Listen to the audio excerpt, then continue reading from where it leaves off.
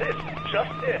Police are in pursuit of a speeding tractor trailer in the downtown Los Angeles area. And, and reports are that the rock band Airbourne are actually playing live inside the truck. I've, I've never seen anything like this before.